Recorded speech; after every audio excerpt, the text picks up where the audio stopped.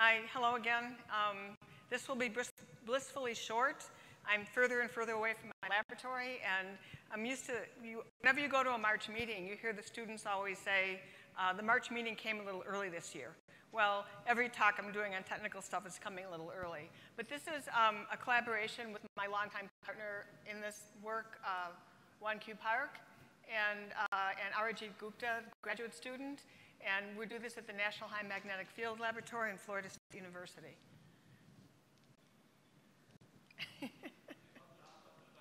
I always do that. It's, it's, upside down. Okay. So I'll do an outline, a little bit of explaining. I don't have any fantastic conclusions. Um, this is a, I've done a lot of work in thin film growth and proximity effects since the 80s, and it's just hard stuff, and it takes a long time. So I'll start out by telling you a little bit about Andreev reflection, if you don't know about it, and the superconducting proximity effect, what planar tunneling is a very, very, very short introduction because most of you know what's uh, samarium, most of you know more about samarium hexaboride than planar tunneling probably. Um, I'll show some of our tunneling results that, so you can see what the density of states of samarium hexaboride is in a planar tunneling junction. Um, we grow YB6 and SmB6 thin films, bilayers, and we make tunnel junctions on them. So that was what, what Arijit uh, Gupta accomplished, and, and these are really hero experiments. Um, well, I'll show you tunneling conductance of YB6, samarium hexaboride tunnel junctions, and in looking for the proximity effect, I'll repeat this in a few more slides, you can keep the normal metal, I mean, yeah, would, in this case, it's like a samarium hexaboride is a normal metal, even though it's a topological insulator, and you can change the thickness, I'm sorry, I have that backwards. You can keep the superconductor the same thickness and change the thickness of the normal metal or a topological insulator. And if you see consistent effects of as you increase the uh, if you increase the normal metal thickness, TT should go down. We see intriguing evidence, but it's really not enough to write home to mom about. So our conclusions are good films, good bilayers, good tunnel junctions, no, no, uh, no, uh, no conclusive results on the superconducting proximity effect. So these couple slides are a background. So Andreev reflection, we didn't, when I first started looking at proximity effects like a, hundreds of years ago, um, we didn't realize that Andreev reflection is the microscopic explanation for the superconducting proximity effect. So what you have is you have, in this case, this is not a topological insulator.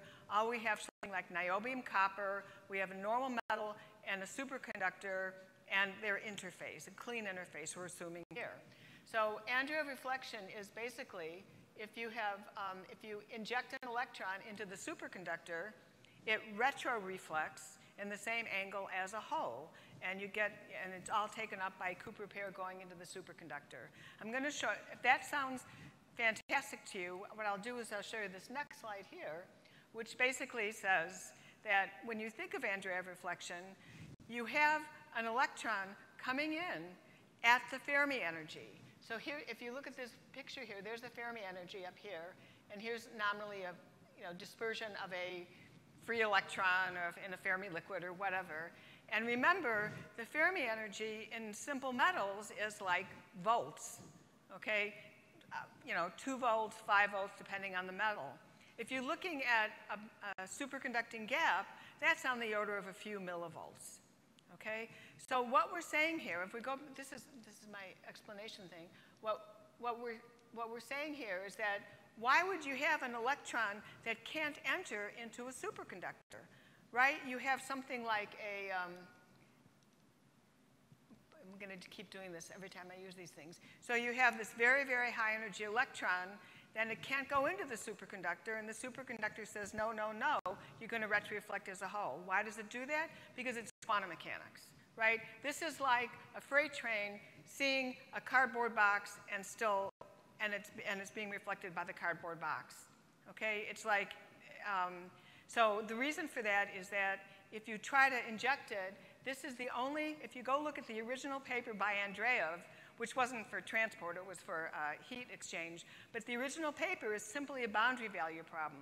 How do you, how do you have this electron uh, um, Cooper pair interface and you want to inject an electron, the boundary value question says in order to conserve charge, energy, and momentum, this is the only process. And I'm always saying when I introduce students to this, if uh, beta decay doesn't bother you, this shouldn't. It's a simple particle conversion process.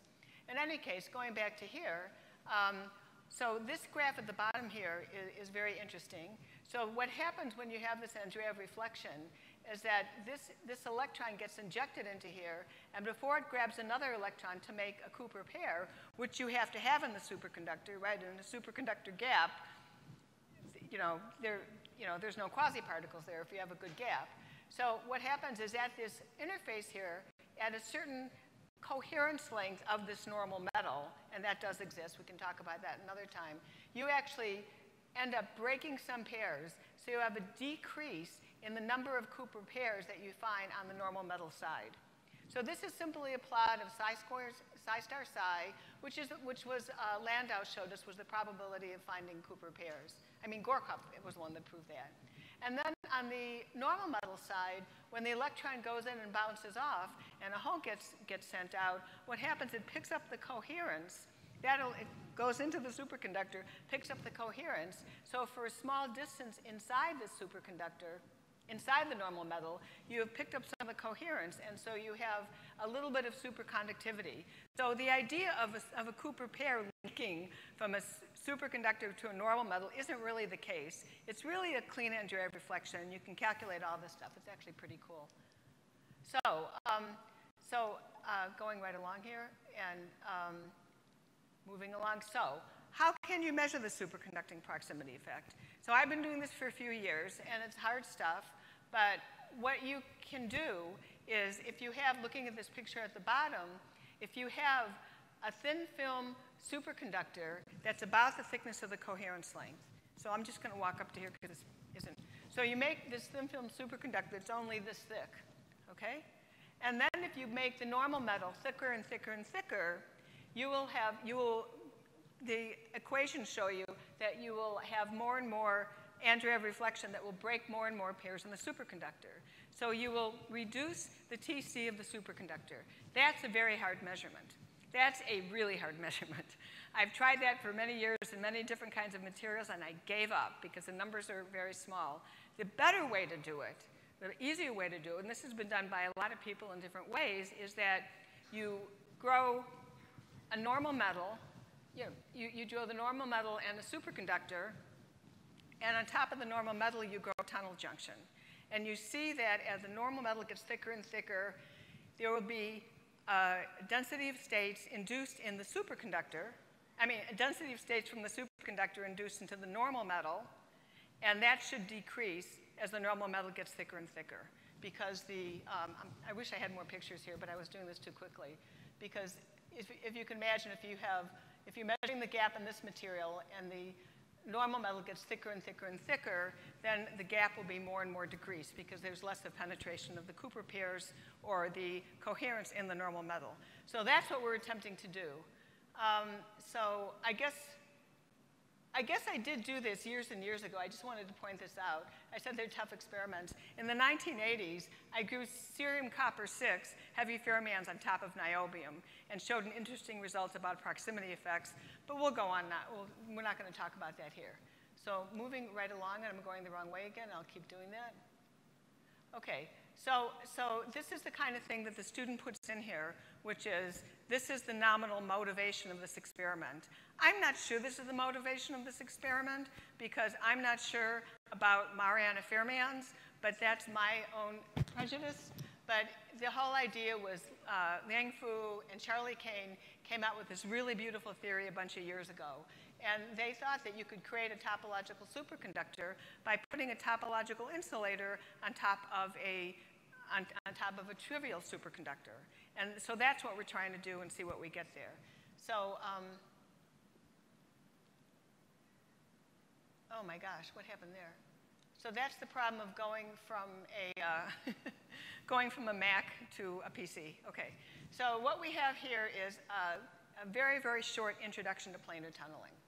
Um, so uh, and I, I, was going to, I, maybe I won't go into all this, but I, I will, ju I'll just use the words, you can't read this, okay? You've probably all seen this before. If you have a planar tunnel junction, you have, it's flat, and you have, you have a, like a superconductor, insulator, and normal metal. And the normal metal density of states looks like the Fermi liquid up there. The superconducting, we've seen that many, many times. One thing is very, and th this is a take-home point that I'd, I'd like you to have here, is that there's something that was written in the, maybe the, I forget now, Harrison's theorem. It could have, was it the 70s? I don't remember. But people were wondering why you see a superconducting gap like that when you're tunneling. If you think about it, if you write down the tunneling equations, which are simply the Fermi Golden Rule, the most beautiful equation on, that's ever existed, what you have is in that tunnel equation, you have the Fermi velocity times the density of states. You have dE by dk multiplied by dk by dE. You should completely divide out the density of states. I'm going to say that again. When you write down the standard one-dimensional Fermi liquid tunneling equations, you should always get Ohm's law.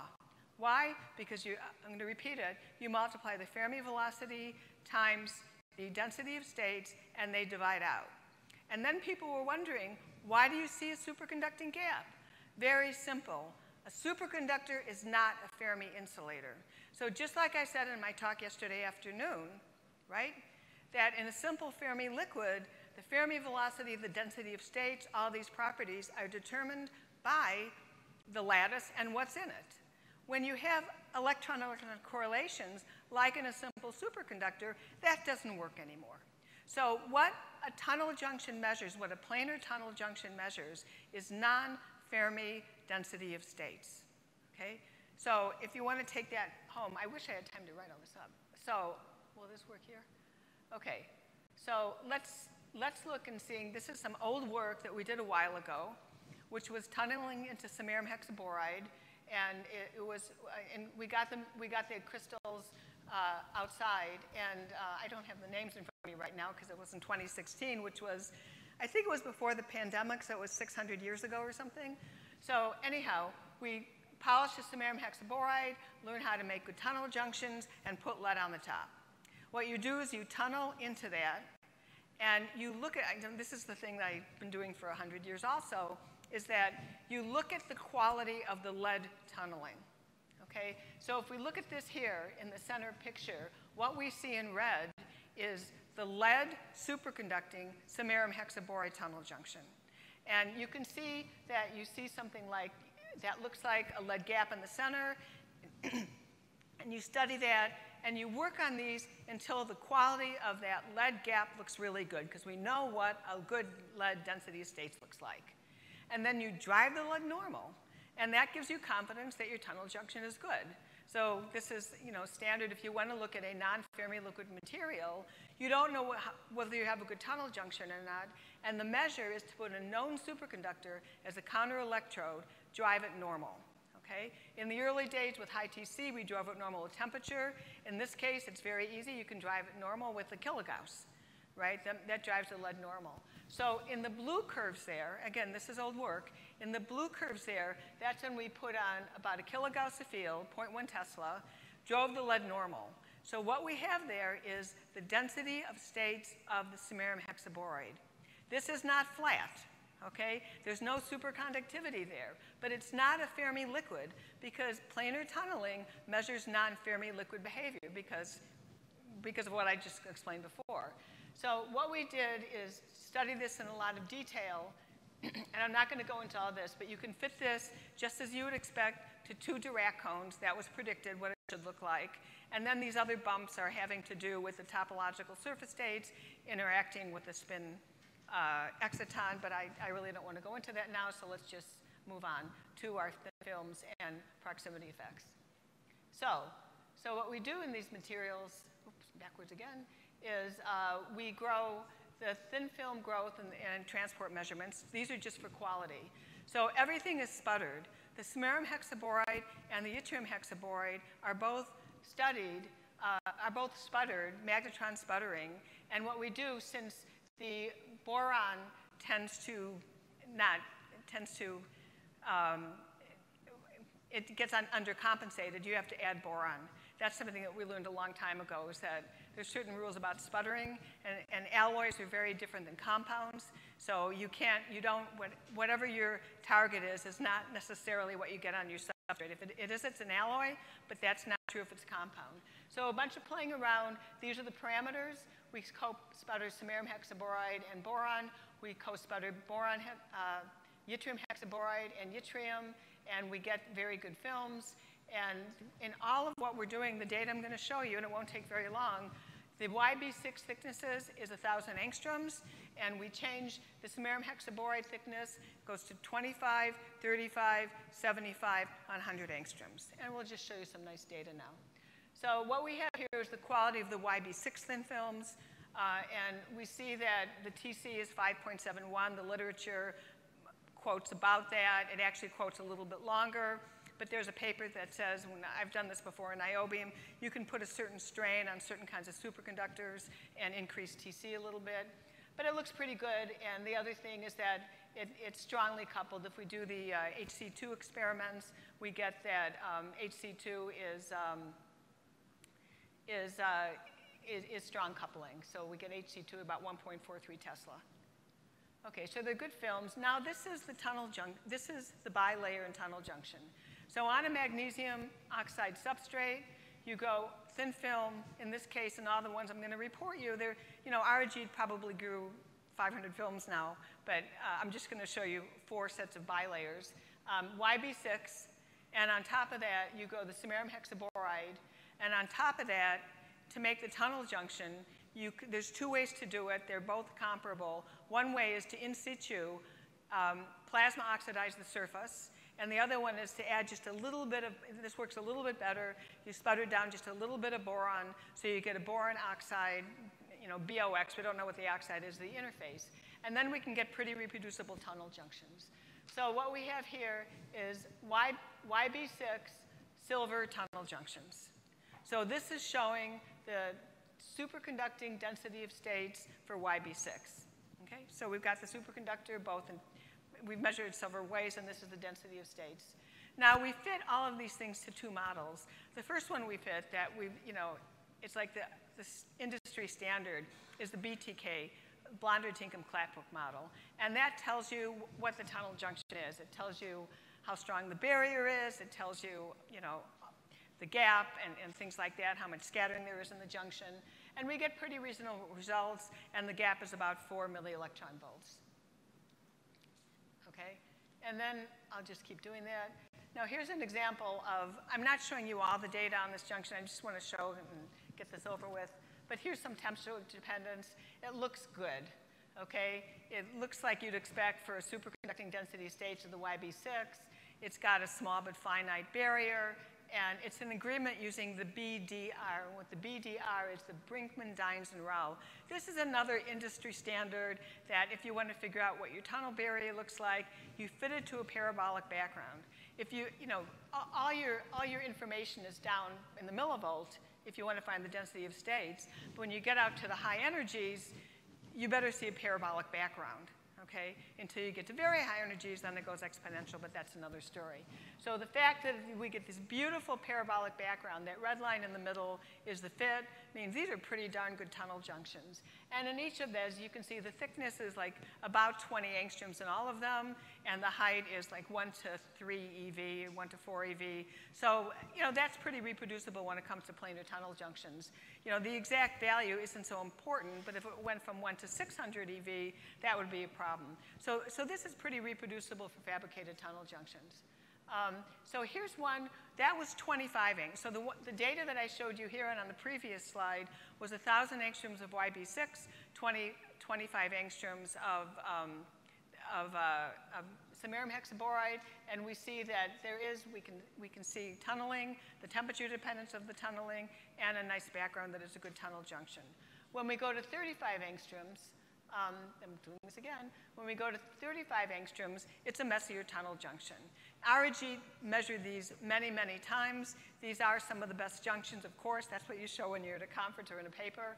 But it's pretty reproducible that at 35 angstroms, the superconductivity looks a little weaker. The gap is smaller, and, and you, you know, And then going on, and then we can see it still looks like a good tunnel junction over up to, you know, a couple hundred millivolts, you still have a parabolic tunneling conductance. So it's a good, strong tunnel junction.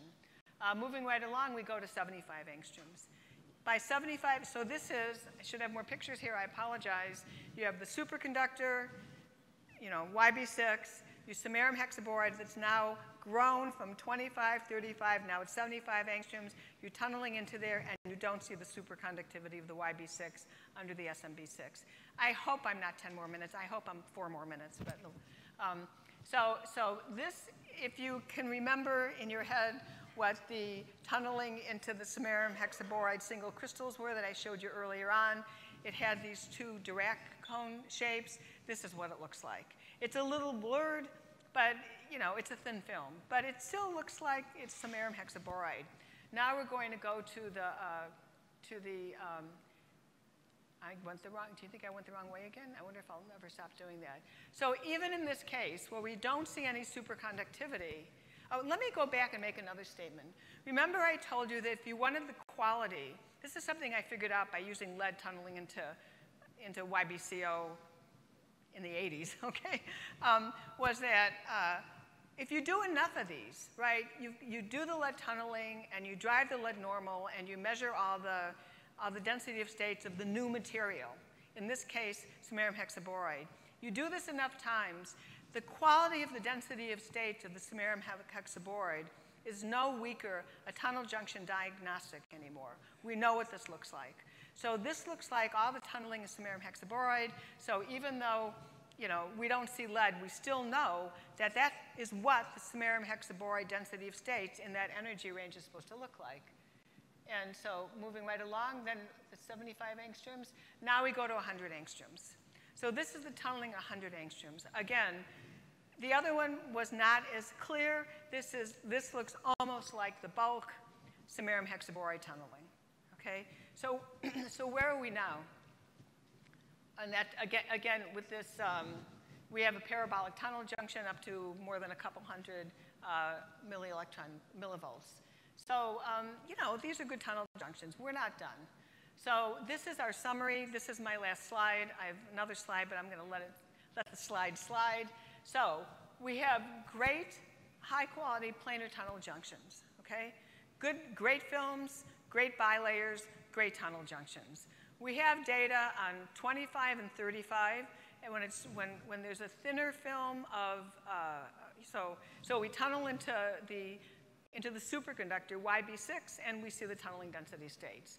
We put a little thin film of 25 angstrom of samarium hexaboride on the top, and we still see the, the, the, superconducting density states of the YB6. You make it a little thicker, now 35 angstroms, it's a little weaker. You jump to 75 angstroms and 100 angstroms of the thickness of the topological insulator, and we don't see the tunneling density of states of the YB6 anymore. So this is sort of what you would expect if there was a proximity effect uh, for, you know, niobium copper or something like that. But all we can say is that we're going to keep working on this and see what we can find. Do I ever think I'm going to see a Majorana fermion? I don't, I, again, I would love to challenge anybody, but I don't see what the difference is between a Majorana fermion and Andreev bound state, but that, that's my thought. So these are my non-conclusions, and I'm happy to answer any questions if I'm able to. Thank you very much.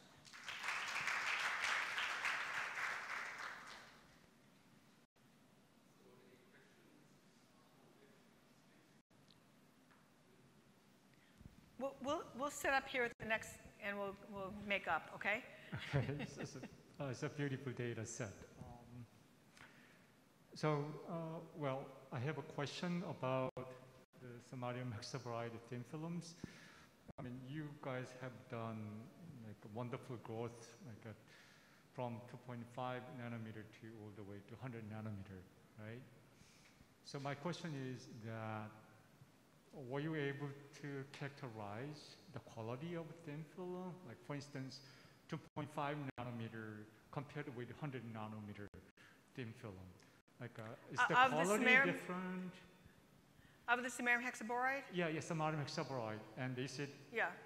And is it like single crystalline quality thin film or polycrystalline yeah, thin um, film? They're, they're uh, polycrystalline they're oriented. I don't remember all the data because I haven't turned a knob in my laboratory in years, and you'll have to ask Arijit. Um, but uh, yeah, so I, I was so when I was throwing this talk together, I was looking for the data. There are data that exists, and as it gets a little thicker, the samarium hexaboride gets better. But it's also getting good X-ray diffraction on a 25 angstrom film. We just don't have it. So we've done some EDAX on them, and we get the ratios is about right.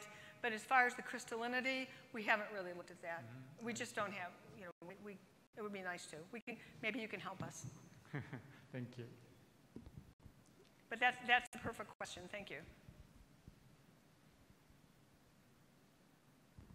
May you say something about the interdiffusion at the interface because you sputter at a high yeah. temperature? So maybe this uh, influence also this, uh, the proximity, right? Absolutely, and we can't rule that out yet. You know, I would like to rule that out. Um, I think it would be difficult. I'm not quite sure how to rule that out. I don't always like to worry about that with, but uh, you know, doing something like, you know, grazing angle, uh, what you, not, uh, X-ray diffraction is one. Would, you know, I've, that's really hard. And the other one that I would love to do is, uh, what's that?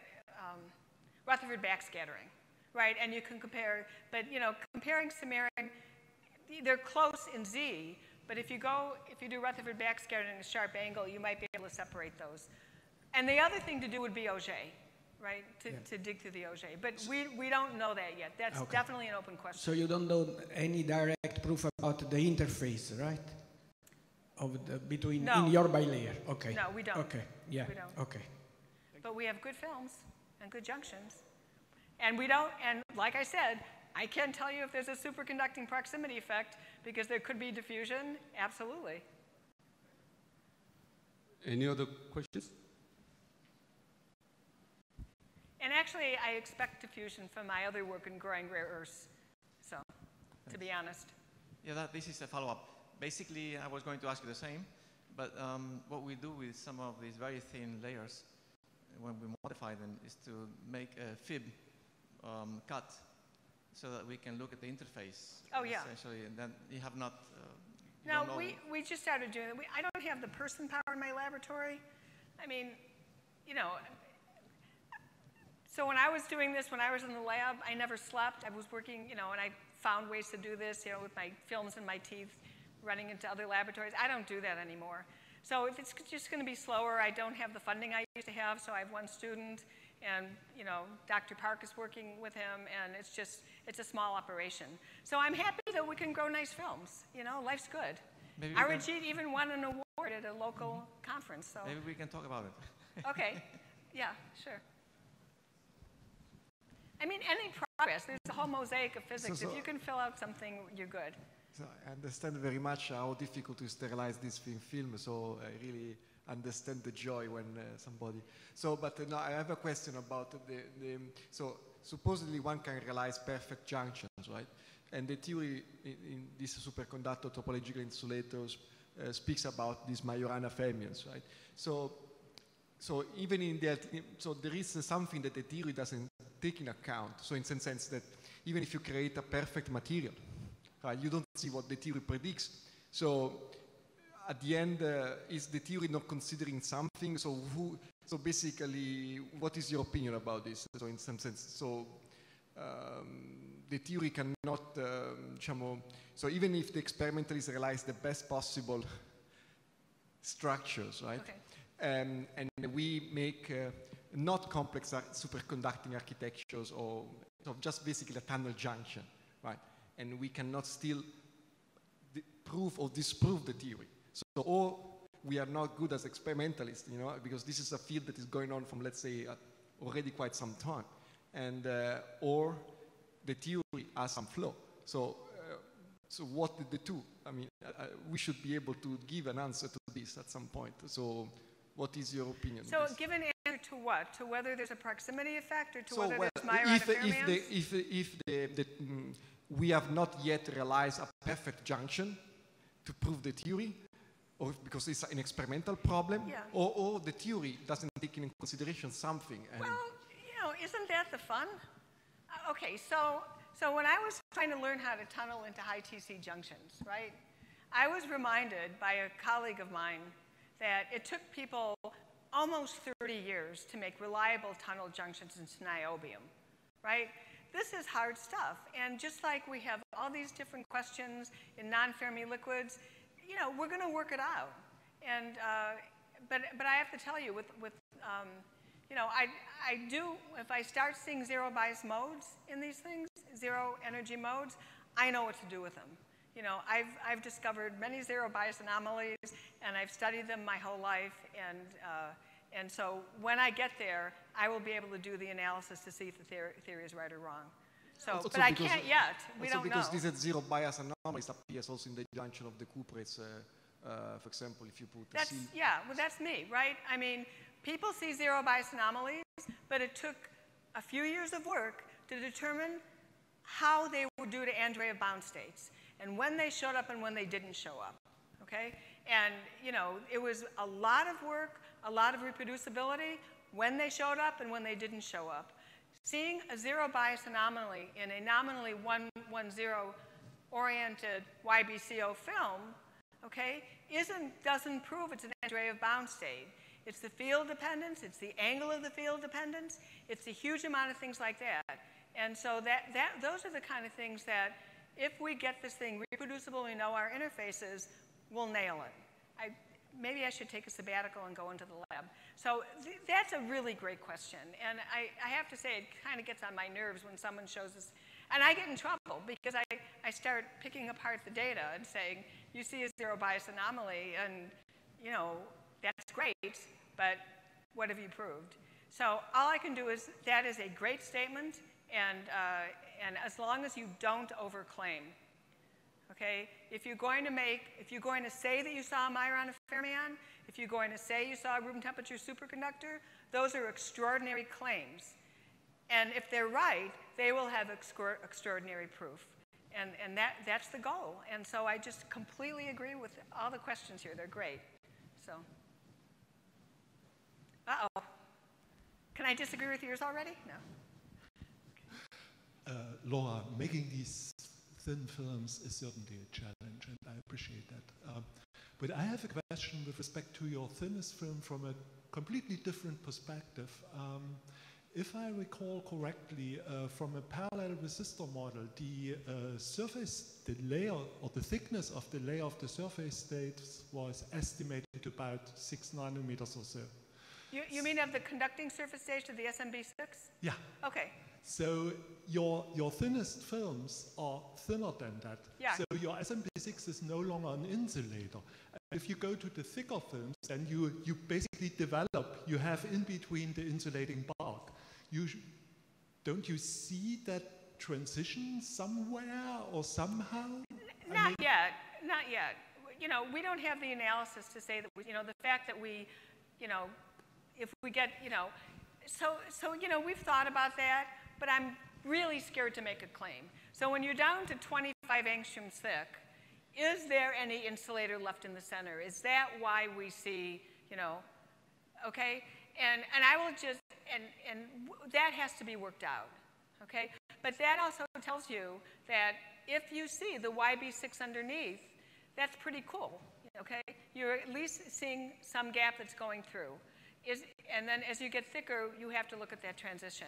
And what's the big problem here? We have 25, 35, 75.